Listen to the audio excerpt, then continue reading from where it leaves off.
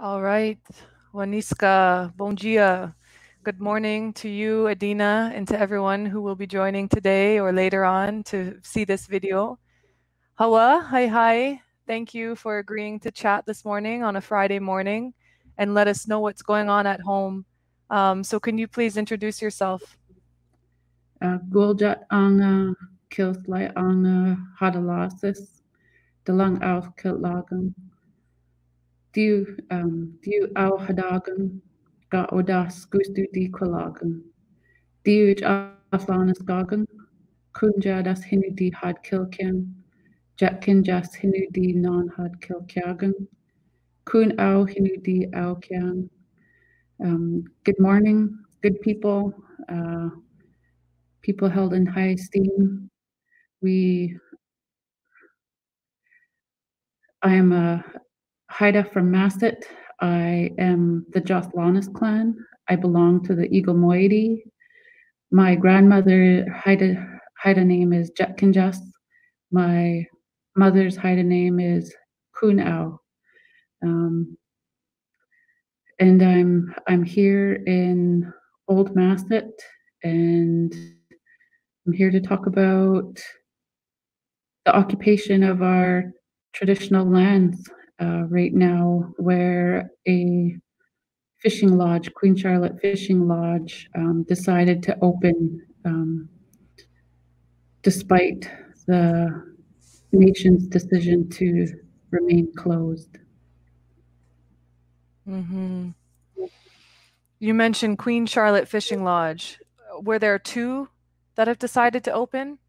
There's Queen Charlotte Fishing Lodge. Yes, they are um, within, um, you know, they're within 10 kilometers of where our people are occupying the land.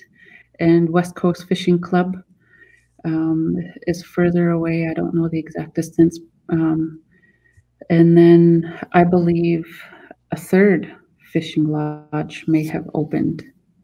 Hmm. For those who aren't from Haida Gwaii, aren't from the coast, what are these sport fishing lodges? What is sport fishing? Who comes to participate in that kind of activity? Um, sport fishing is a it's a vacation for um, clientele who go out on speedboats. They have a license uh, and they have a limit on how much fish they can catch. And once they catch their limit, um, you know, if they catch it within a reasonable amount of time, because they paid the money to get to those resorts, they um, stay on the water and they continue to fish. They they play with the fish and um, those lead to high mortality rates. So our salmon stocks deplete from the amount of guests that come out and um, the amount of fishing and sport fishing that they do. So the sport of it is, you know, to, to catch your limit and uh, if you catch it too fast, then you pay all that money to do what? To sit in the lodge. They they come out to be on the water and they they choose to stay out there and they choose to um, continue to fish and, and uh, catch and release. And uh, just for fun. devastating to our stocks. Just for fun. Hmm. and you told me your husband is a commercial fisherman so and how does that kind of relationship to fishing differ from the way that you understand fishing and harvesting commercial fishing um, you know there's a market for it. They they keep what they catch. They sell it to the markets. They sell it you know it goes all around the world and uh, there's no there's no catching it for fun. There's no right. playing with it for fun. There it's um and traditionally uh you know that's what we've done since time immemorial. That's our food sustenance. That's our protein. That's our um, that's what identifies us as as people. And um, when we have people who go out and play with the food, that's another one of the Haida laws that we've been taught is we don't play with our food. One of our stories is of uh, the octopus village under the sea, and uh, two boys were playing with an octopus that they found under the rock, and they were corrected to not play with them and put them in harm's way. And the octopus went back to the village and, and told the octopus village what was going on, and the octopus village um, declared war. They they got ready for war, and um, you know those are our supernatural stories that identify us and and the human village got word that the octopus village were were preparing for war. So instead of going to war they made it right. They went back and they corrected things and and saved themselves.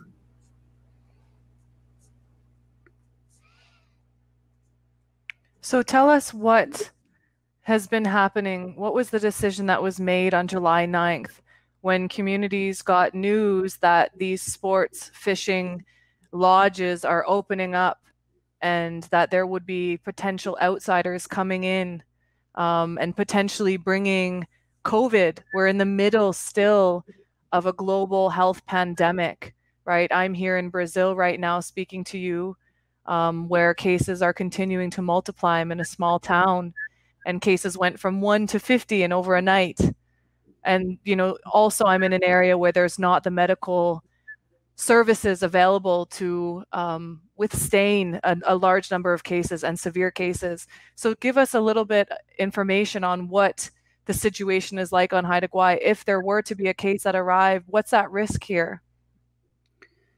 The risk is devastation, much like the smallpox epidemic. Um, the smallpox epidemic was uh, a sickness that was purposely introduced to Haida villages to wipe the Haida people out. They did they didn't want Haida people to exist. And the devastation of COVID-19 coming to Haida Gwaii and putting our community members at risk, as well as our elders, our fluent language speakers, our um, our children. Uh,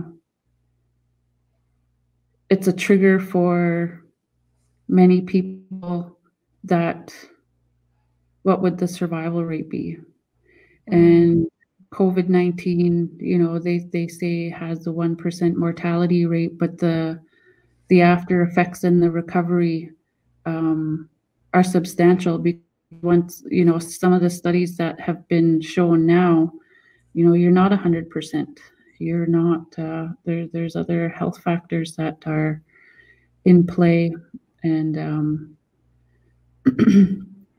it, it, would be we wouldn't have the resources the healthcare services to be able to control an outbreak. We have all of the population on Haida Gwaii, not just in Old Masset, but the population of entire Haida Gwaii, we have two ventilators Mm-hmm. We have hospitals. Uh, each hospital we can bed up to 12 patients. Mm-hmm. And those 12 beds are not always empty because we do have other people who have, have um, um, you know, health needs that they need that need to be met and occupy those beds. So all of a sudden we go from 24 beds down to 12 beds or six beds. And if an outbreak happens, we have nowhere to put those people. Um, and and the two ventilators, you know, we've had people say, well, why can't we just get more ventilators? We can, uh, but then we don't have the human resources to be able to operate and, and use the ventilators as they should be. Mm-hmm. Mm-hmm. So, what was the decision that was made by Daughters of the River, and who exactly are Daughters of the River? So there was no decision. Uh, it wasn't like a formal meeting. It wasn't any. It wasn't anything political or anything uh, that a meeting need to um, uh, official decision making. I guess wasn't had, but it was um, empowerment to our people to let them know that this is our inherent right to occupy our land. And Gujalang are uh, grassroots people who are taking that initiative and embracing the empowerment that is being given to occupy the land to harvest our traditional foods to help us maintain with uh, maintain food security within our communities. Mm-hmm. Uh, we've had people um, get cut back on their income due to the pandemic, and we fall back on on our traditional harvesting. We have uh, the also the impact of the pandemic and the impact of of um, travel and being safe and keeping Haida Gwaii safe. I've seen um, and heard and know people who want to come home to Haida Gwaii who normally would come home to Haida Gwaii to harvest and help them with their food security in their in their urban communities where they decided to live. And with the respect and, and the understanding of how the impact of COVID 19 coming to Haida Gwaii, our, our own people are respecting our wishes and not coming home. They're, they're not, they're sacrificing their family time, they're sacrificing their winter harvest, they're sacrificing so many different things. They're sacrificing, maybe they have family members who are sick here on Haida Gwaii that they can't even come and visit them. Mm-hmm. Um, you know, we've had, we've had, uh,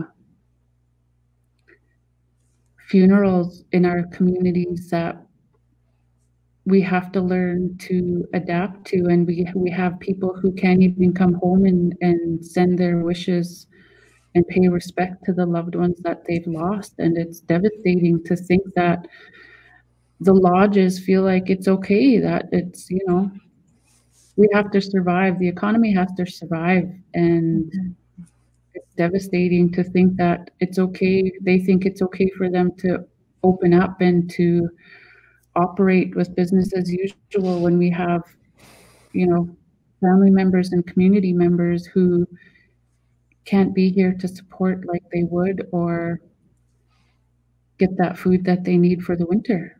Mm-hmm. How have these lodges justified their decision to open to outsiders. Um, and I read in the press statement, it's mostly American clientele. Is that right? It's mostly Americans who would be coming, spending the money, a lot of money, right, to travel and have their private transportation to get to these lodges. Um, is that right that it's American clientele? Their clientele is known to be American. That's right. Mm-hmm. Um, their their statements are that they um, are only open to Canadian clientele. Um, but previous years, previous um, operations know know that it's uh, American clientele that are coming. Mm-hmm. Mm-hmm. And they have said these lodges have made a point to say we're going to take new measures, safety precautions, but they have not been open to the possibility of remaining closed for the time being. Right. So the statements that I have seen were from one of the West Coast Fishing Club, that one's on Langara Island, um, was that they went through extensive extensive measures to make sure that they're following um, health authorities, um, WorkSafe BC, and provincial laws that are put in place, um, but there's no mention of respecting Haida law. Mm-hmm. There's no, um, and, and it's not to say that they're not uh, trying to reach us or be in contact to see what it will take to open. You know, it's not to say that they're they're not making that attempt, but the Haida Nation have stated that during this pandemic, we we're going to remain closed until we feel like it's safe to do so. And the Haida Nation and communities have not determined what safe looks like to us right now. And we're going, um, you know, we're watching the world. We're watching BC. We're watching how things are rolling out. And as things roll out, things aren't getting any better. And until we feel like it's safe to open up, we're not going to open up. And we're just asking that these lodges respect Haida law as well as the other laws that they're, you know, that that they're respecting. Mm-hmm. Mm-hmm. Pre COVID 19, what is the relationship like with these lodges in terms of that respect and acknowledgement for Haida law?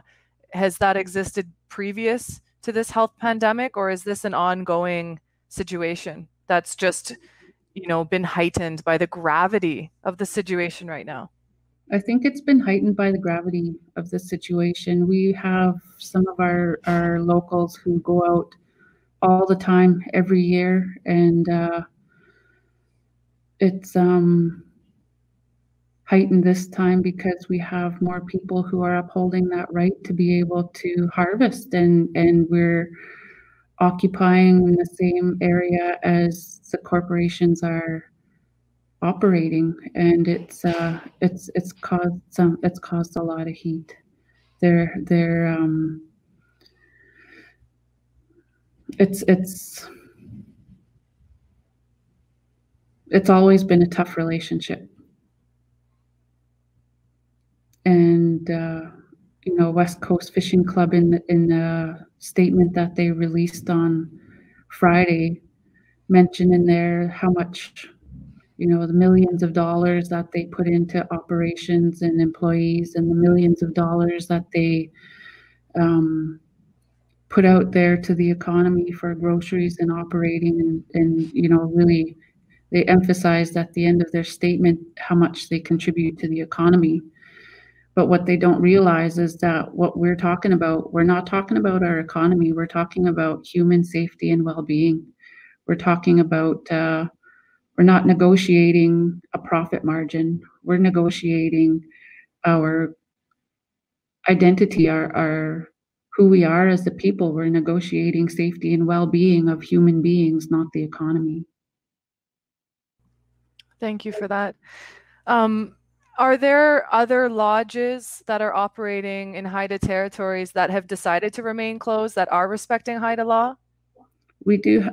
we do have uh, lodges right in in community in in New Masset, and they've they kept their doors closed. They are choosing not to operate. mm-hmm. So it is possible. It is definitely possible. We had, um, you know, our gas stations here uh, on Haida Gwaii, they put signs up to say that we have the right to refuse your service. We're essential workers and won't be put at risk. Yeah. We have other businesses who who are taking a hit on not opening up. We have people who run uh, small tours within within the community. We have uh, small boat operators who are able to take day trips with um, visitors who are coming to to see our lands and to see to see what Haida Gwaii is all about, and mm-hmm. they're respectfully choosing not to open up because they they believe in the safety of our communities and they they can see the impacts that COVID nineteen will have um, if it comes to Haida Gwaii, mm-hmm. and um, I I wish that people would would support us and respect the laws that we have that we put in place. And you know not to go down a political road and make political statements but you know with the knowledge of um, the province of bc being the first province in canada to implement legislation around UNDRIP that's recognition of indigenous people and what they stand for so the recognition is is it's there it's in legislation indigenous people have rights we always we always have and uh, we, we need to be respected. That's right. And it's the province that's given the lodges the green light because the province also has the power as well to say you have to remain closed, but the province has given the green light to these lodges that think that that's the only law that they need to be abiding by. Is that right? within the phases of the province opening up, yes, um, I don't know how the province feels about um, who has the law and who has the authority. um, but just recognizing that those that that we do have um, our rights and we we are accountable to each other to uphold uphold our, our inherent laws. Mm-hmm.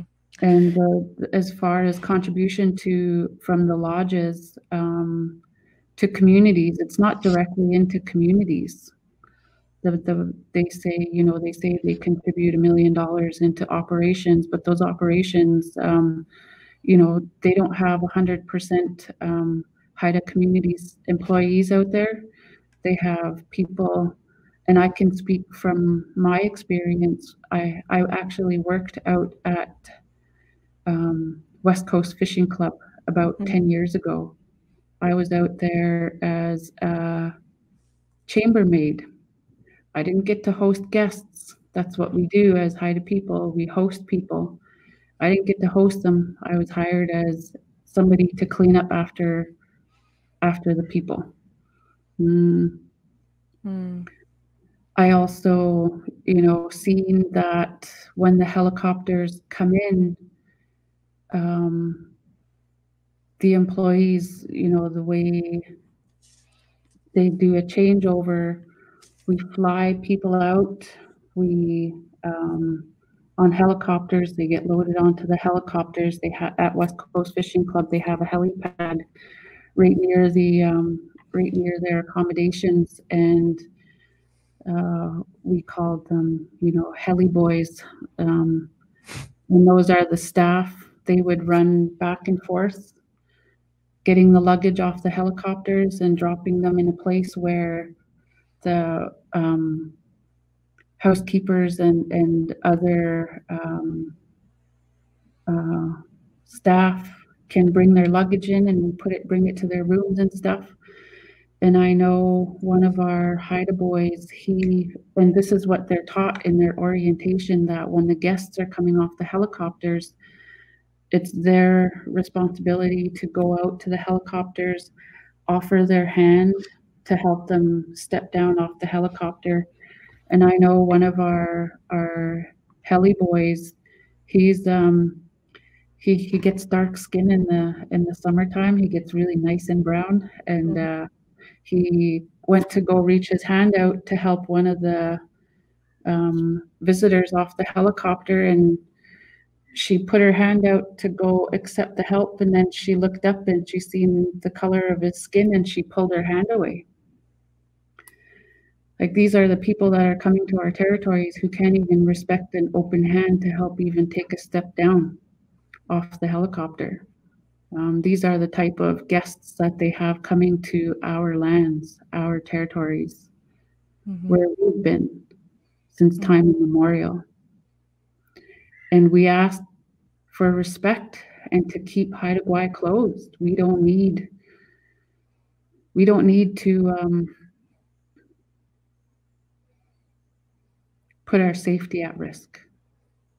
Mm-hmm we have a small percentage of employees who are out at the lodges. Mm-hmm. They advertise that they employ, employ locally, but it's such a small percentage. Mm-hmm. I also know that uh, the guides that come and operate the boats, there some of them aren't even from BC. They get flown in from across Canada in some cases. Mm-hmm. Well, and when companies in a young, very colonial country like Canada, when companies make statements like, we provide these services, we provide this revenue, and then they never recognize that it's all on stolen lands. Like they're providing these services for an area that Haida people have stewarded and cared for that are within Haida territories. And it seems that that doesn't get mentioned. Is that right? That's right. So There's, that's the other side of the coin that seems to be. Yeah, there's no acknowledgement of the territories that they're on. Mm-hmm. However, mm-hmm. there's no history. There's no history or explanation to the guests on how they were established or who you know. There's none of that brought up. Mm-hmm. What how has uh, the coronavirus, COVID 19, how has it affected you in your life and your community in the past months since the it kind of started breaking out in March? It's Me about and five life, months now. yeah, yeah, me and my life, um, personally, uh, I feel like I feel like um,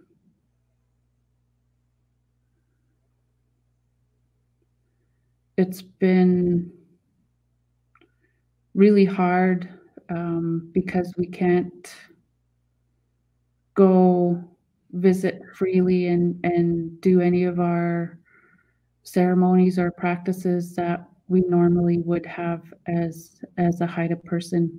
Um, we have um, dance groups who come who would come together once or twice a week and practice our songs and dances and with the regulations in place of social distancing and keeping place and not having large gatherings we haven't been able to do that um, i've had a couple of deaths of people who are really close to me and we haven't been able to have a proper funeral we haven't been able to console each other and be um, support to each other like we normally would. We can't gather in big places. We can't um, hold our, our traditional ways of, of putting our loved ones to rest. Um, I have four children who can't freely go and visit their friends and family like they would. Um, we've we've been pretty uh, at home quite often and and the kids are really understanding of the safety of us and uh, we've had we have um, you know our language uh, we don't have very many language speakers and we have a lot of people who are dedicating their time and efforts to uh, revitalizing our language and keeping our language going. And with one of our programs that we had called the Haida Gwaii Mentor Apprentice Program, that's been you know, it, it put a, a bump in the road for us where uh, we have apprentices, people who sign up to to do this program and they complete a certain amount of hours with with a, a fluent speaker. And we haven't been able to um, move full force with that because of the safety of putting our our language keeper at risk because our language holders, our fluent speakers are, are mostly older, older generations in their 70s, 80s, and 90s. And we can't risk um, their lives. We can't risk their health. Mm.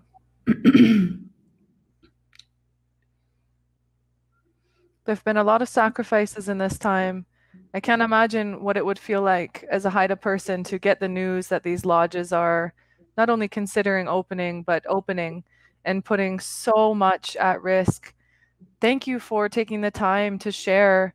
Is there anything else that you would like to share at this time, letting people know um, any kinds of awareness or plans of action or support that we should know about? So I'm just looking at some of the comments that are coming up here. Um, I'll just have a look. Let's see. Yep.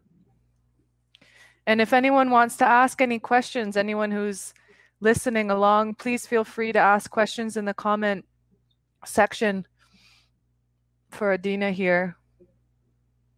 So you have Nicole Bird, no respect or acknowledgement of the Haida Nation, even in their advertisements. The focus mm-hmm. is and always will be about the money and the expense of the Haida Nation. Respect Haida law. Um, we have so many teachings of how we harvest, what we can harvest, when we can harvest, where we can harvest, mm-hmm. and you know we um, where Queen Charlotte Lodge is is operating right now. We have a cemetery, and these guests think it's. Uh, I don't know what they think. I don't know what is in their right mind to be able to. Mm-hmm go to our graveyards and take pictures of them. our ancestors who've passed in these villages that were, you know, death caused by a smallpox epidemic to wipe us all out. Like, where's the joy in taking pictures of that? Where's the respect in taking pictures of that? Where's the comfort in them knowing that they're on a holiday, putting our lives at risk and potentially putting us all in the ground, just like those those those cemeteries that they're visiting? It's it's definitely it's mind-boggling to to for me to understand what it what is it what what is what is the joy of coming to our territories and not acknowledging whose land you're on and not acknowledging the impacts that are being had by our local communities by our people who are out there getting the fish that we need, the food that we need, practicing our traditions that we've always had, and feeling these lodges, the, the guests at the lodges are feeling like we're imposing on them. I had a community member talk to us, and she was devastated. She was angry. She was mad. Her husband, my uncle, he's my uncle he's been he's been fishing he's he's a boat builder he builds boats and he he gives these opportunities for people to be able to go out on the water and he was out on his boat and he goes out by himself. We we know what we do. We know our waters. We know when we can go when it's safe. And people people keep track. We have our own safety things in place that we've been doing before the establishment of these lodges. And he was out there on his own and he came back and he told my auntie he said two lodge boats came speeding at me on either side. We're not being respected on any level, and it's uh, it's it's devastating. It's disrespectful. It's it's privileged, very very privileged, and this is our right to be out there. It's completely unacceptable. Um, can you tell me about the occupation? You know, you made it very clear this is not a reoccupation. I don't even know if you use the word occupation. I've seen it used in some press uh, around the situation, but people are living their lives, upholding their inherent rights and laws. Can you tell me about what that what that's looking like at home on the ground? Yeah, we we have um, people who who are at camp right now. Um, there's a cabin out there um, where they've they've set up a kitchen. They they have and there's food out there for them to cook. They're cooking food that they're catching. Um, they've been they've been really uh, fortunate to be empowered to be out there because they get to eat the fish that they catch every day. They get to eat the Dungeness crabs that they're catching. They have they get to eat the prawns that they're catching. They get to harvest the berries that are out there. They get to um, they get to preserve um, some of the catch that they don't eat. So they, they're out there, they're able, they are having the abilities to jar our foods to store away for winter um, until the next season comes up again. They have it's it's creating an opportunity for these people for um, our our people to bring food in for the elders for the families who haven't been able to get out on the waters um, it's it's a community communities coming together to make sure we're taking care of each other, to make sure we have something to eat, to make sure we're being to make sure we're safe out there. Um, and safety, along with safety, you know, the the RCMP went out there, um, not the local RCMP, but the RCMP from maybe Prince Rupert. I'm not exactly sure where they came from, but they went out there and uh, one of the videos that we released on on our Facebook page, Andle Gujalang Facebook page and Instagram, um, was one of our ladies who were out there said they went out to go set the net and they went ashore for about 10 minutes and they went back to go check the net and the net was gone. So they contacted the RCMP and um, somehow they knew where exactly the net was. Hmm. And they had asked the RCMP, you know, why why are you out here? And the RCMP's response was, it's for the safety of everyone. And the response to that was, if it's for the safety of everyone, why have you gone to every single lodge boat and not come to check on us at camp? Mm-hmm. You haven't once come to any of our smaller boats who are occupied with all women to come and ask if we're okay. And today, today we have our local RCMP are going out to to check on camp and make sure things are okay and mm-hmm. see how our people are doing out there. Because we have um you know there's men and women out there. It's not just all not just all women. Um we have children who are out there going to be out there for the weekend and you know we're just practicing upholding our our right to occupy the land mm-hmm. and we we just feel like um you know not only the risk of covid-19 that they could bring it's uh it's the boat safety. Right. There's no you know the story i shared of my uncle being um, harassed i guess is the word the way he was. He's um he's not out there um to hurt anybody. He's not out there to interrupt anything. He's out there to catch his food and um, mm-hmm. you know he's in his 60s and the privileged people don't understand that uh, we're we're not inconvening them in any in in any way shape or form. It's a privilege that they have that they they don't even recognize as a privilege in my mind. Mm-hmm. and that's my uncle's life they put at risk. He's not out there ready to record what the lodges are doing. He's not out there ready to to come back in and report oh the the lodges are doing this. He's out there getting the food Mm-hmm. And I'm looking, um, I'm looking at the comment here, Kildaguaya Hada, mm-hmm. who in their right mind would throw a bunch of people that don't even know each other together from all over Canada and send them to our homelands to play with our food, especially during this serious global pandemic. That's so wrong on so many levels. Our children even know better than that. They've been taught in very short term, uh, in a very short time, that it's not safe. And that's absolutely right. Our children understand the safety and, and are being taught how to be respectful.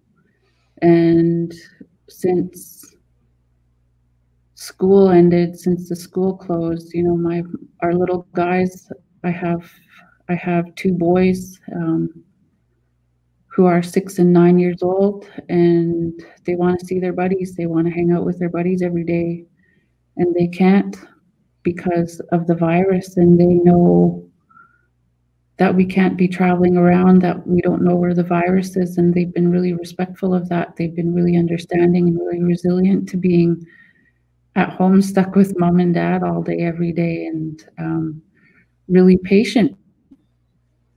Um, I guess it's, uh, yeah. I see uh, Brandon Brandon's comment. Uh, we've sacrificed regular employment due to COVID. Um, we're working hard to keep it safe here. Uh, Brandon, Brandon's my husband, who is a commercial fisherman. He's he stayed home this fishing season with the close of the economy and and um, you know not risking that going out to other communities and delivering in different communities and crossing paths with where COVID maybe can be. And uh, that's it's it's been it's definitely been a struggle to be able to be at home for Brandon as a commercial fisherman. He's been on the water since he was six years old, same age as my boy our our kids. He takes our kids out on the boat with him uh, when he goes fishing. and He hasn't really been able to do that a lot this year. We have the grandparents who live down on Vancouver Island. We haven't been able to go down there. Hmm. Um, you know, as as a commercial fisherman, he hasn't been able to go out and accumulate um, the amount of dollars that he needs to be able to collect uh, EI benefits, you know, for off season. There's the market's been so small. We went when the pandemic um, happened. Our commercial fishermen, they would go and catch halibut and they would sell them to the, um, what do you call them, the processing plants. Mm-hmm. And they would sell the halibut for, um, I, I, am sorry, I can't say like it's in the double digits amount of maybe Brandon, if you're listening, if you can comment how much a commercial fisherman would normally send uh, sell, you know, halibut to to the processing plants. And when COVID started, you know, they people were still going out to catch the halibut, but the processing plants were selling them for, you know, or buying them for a dollar seventy to a pound they went from buying them from buying that halibut to uh, buying that halibut from maybe like $17 a pound, $24 a pound, $29 a pound. You know, the, the price changes depending on the market, I'm guessing. And, um, you know, they went from that selling halibut at that price a pound to a dollar 17 a pound. And the way commercial fishermen collect their EI is by how much they make in a fishing season. So uh, selling it a dollar seventeen, um, selling it to a processing plant at a dollar seventeen a pound is nowhere near the amount of money to be made that qualifies them to get on EI. Mm-hmm. And then that would carry that would carry them through a season, um, you know, the winter season, and then fishing starts up again. Mm-hmm and um, you know that's that's the struggle that we're looking at right now and how how do we what does it look like for for fishing to open up again for commercial fishermen and and the um, the sales in the world how is that going to be impacted on us you know right it's a big change but you know, he he chose to be to be at home because we're not going to sacrifice lives for money because on Haida Gwaii we have those resources to sustain us. Mm. We have resources to we have you know we have the fish in the sea to feed us through the winters. We have the fish in the sea to replace chicken and beef from the store. We have um, we have our berries to harvest during these summer seasons to keep in our pantry, to keep in the freezer. We have our, our traditional plants that we use for medicines. We have we have our um, medicines. We have so many things here on Haida Gwaii that that have been ours and always will be ours. And the, the privilege of, of these people who are coming thinking it's okay, we're not putting anybody at risk. They actually are. Mm-hmm. Mm-hmm. It's a twisted, bad nightmare, reoccurring nightmare, because, like you've mentioned, this is not the first time. Um, here in Brazil, indigenous communities have been really affected by COVID 19, and mm-hmm. a lot of communities have been infected by outsiders as well mm-hmm. by um, government workers who have brought the virus into very remote communities and the gravity of the situation. There's been over 450 deaths of Indigenous community members, elders, leaders, and the situation here in the so called global south um, has really also highlighted this ongoing colonial violence, the colonial violence of a mindset that people have the right to go into others' territories, you know, also the ongoing inequities and social economic disparities that have been forced onto communities that have survived attempted genocide and colonization. So it's no small thing that we're talking about. And I know it's not easy to put words around. So I, I really do. I thank you for your time and the courage it takes to have this conversation, you know, in this way, you know, online, um, mm-hmm. in the kind of new things that we're getting used to. Um, is there anything else that you want to say before we kind of come full circle? So we've, yeah, we've, you know, as an Indigenous person, we've been taught how to, uh, you know what, I'm actually just going to pull up, pull up something here. Great. Um, give me a second. Sorry, sure. audience. I just feel like it's really, I really want to say it. Um, There's no rush. I'll take myself off the screen so we can really focus. On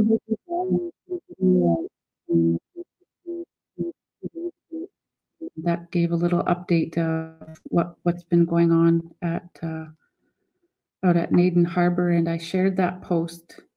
And it, on my post that I shared, um, I wrote as a woman living in a country where they wanted to rid Indigenous lives all across the country is a life that any privileged person may not relate to on any level.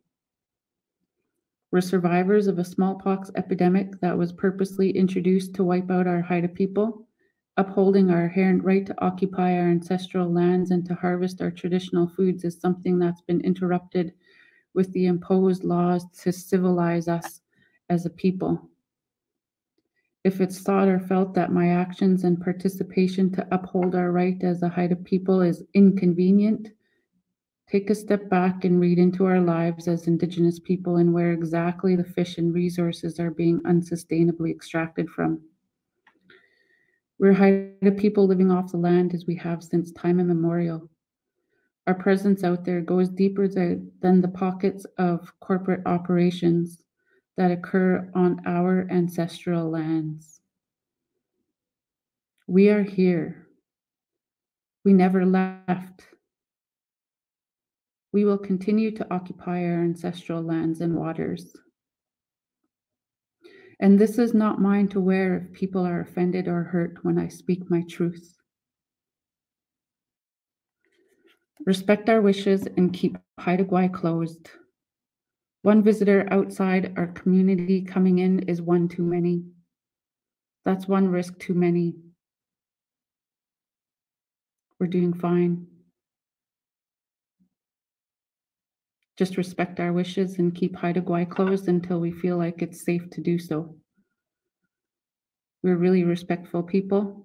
We're really reasonable people. And we're really reciprocal people. When we're respected, we give respect back. All we ask is that you respect our wishes and keep Haida Gwaii closed. No exceptions.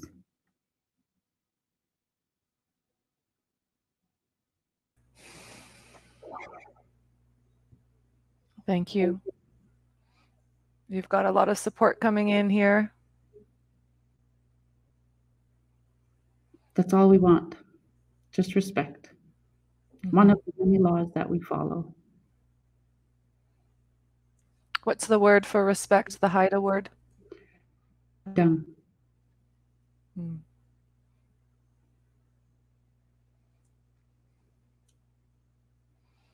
Hawa. The King. I'll see you in house in Dunks Kingston. Take care. Take care. We'll be keeping keeping the conversation going. Be sure to spread the word. Uh, let people know what's going on and the gravity of the situation. Thank you so much, Emily. Thank you, Adeana. much. We'll talk to you soon. For sure. Take care. Take care, everybody.